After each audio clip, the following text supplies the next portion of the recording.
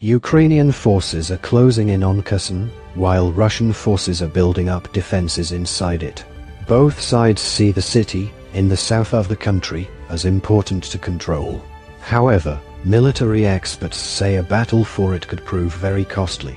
Before the war, Kherson had a population of about 380,000. It is on the banks of the Dnipro River, near the Black Sea coast, it is also close to the Crimean Peninsula, a part of Ukraine which Russia annexed in 2014 and which contains a number of its military bases. Kherson is a gateway to Crimea, says Marina Miron, researcher in defense studies at King's College London. Recapturing it would pave the way to reconquering Crimea, which Ukraine aims to do in this war. Kherson's location is also important, says Forbes Mackenzie, a former British Army intelligence officer and chief executive of Mackenzie Intelligence Services. Getting control of the Dnipro River is important because it runs right into the center of Ukraine, he says. Kherson is the only one of Ukraine's regional capitals to have fallen to Russian forces. Russia took it in early March and recently declared it had annexed the Kherson region, along with three other regions in Ukraine. Recapturing the city would send a message that the war is turning in Ukraine's favor, says Ms. Miron. It would demonstrate to the West that it is still worthwhile spending money on supporting Ukraine and supplying them with weapons. However, Russia's forces are also under huge pressure to defend Kherson. They lost 6,000 2,317 miles of territory to Ukrainian forces during their counter-offensive in the east of the country.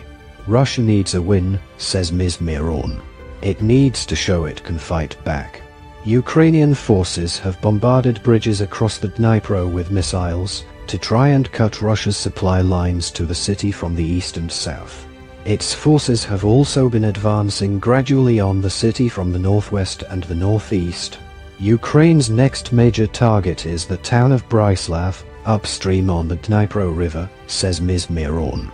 Once they take that town, then they can mount an attack on Kherson itself.